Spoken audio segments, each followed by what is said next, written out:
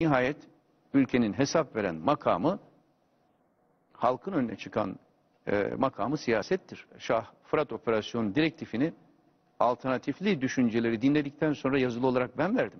Süleyman Şah Türbesi ve Saygı Karakolu'nun tahliyesi akılları karıştırdı. Operasyon talimatını kimin verdiği geçen sürede çok tartışıldı.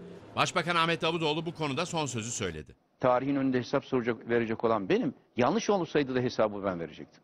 Peki talimatı kimin verdiği konusunda neler yaşandı? 21 Şubat gecesi Şah Fırat operasyonu yapıldı. Operasyon bitti. Başbakan Ahmet Davutoğlu Genelkurmay Başkanı ile kameralar karşısına geçti. Saat 11 civarından itibaren de bizzat benim de katıldığım şekilde bütün bu çalışmalar Genelkurmay Karargahı'ndan, operasyon odasından yürütülmüştür.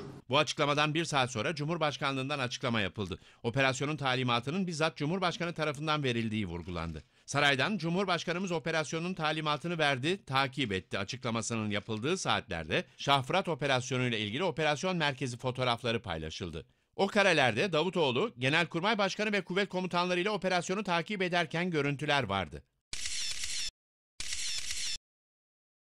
Operasyondan bir gün sonra ise hükümete yakın gazetelerdeki manşetler hemen hemen aynıydı.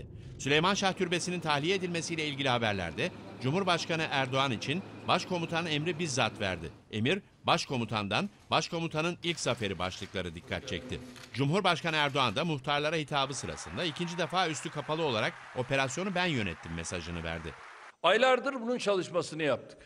Hükümetimizle, genelkurmayımızla bunları oturduk, haritaları üzerinde çalıştık. Cumhurbaşkanı Erdoğan'ın bu sözlerinden iki saat sonra Macaristan'a giden Davutoğlu'nun gündeminde yine Şah Fırat operasyonu vardı. Başbakan Davutoğlu talimatı ben verdim açıklamasının altını çizdi. Artık Türk toprağıdır. Bunun tartışılı bir tarafı yoktur. Ve tarih 27 Şubat. Sabah gazetesi manşetten verdiği haberle dikkat çekti. Gazete, Süleyman Şah Türbesi'nin tahliye edilmesi talimatını bizzat Cumhurbaşkanı Erdoğan'ın verdiğini iddia etti. Başkomutan sahadaydı başlıklı habere göre, Cumhurbaşkanı Erdoğan operasyon talimatını bir hafta önce gittiği Malatya gezisi sırasında verdi. Bir gecede bu operasyonu yaptık. Süleyman Şah Türbesi ve Saygı Karakolu'nun tahliye edilmesiyle ilgili son açıklama Başbakan Ahmet Davutoğlu'ndan geldi. Başbakan, ülkenin hesap verme makamı siyasettir dedi. Operasyon emrini kim verdi sorusuna verdiği yanıtla dikkat çekti.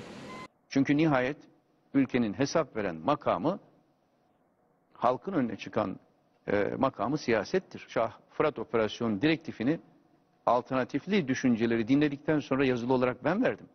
Tarihin önünde hesap soracak, verecek olan benim. Yanlış olsaydı da hesabı ben verecektim.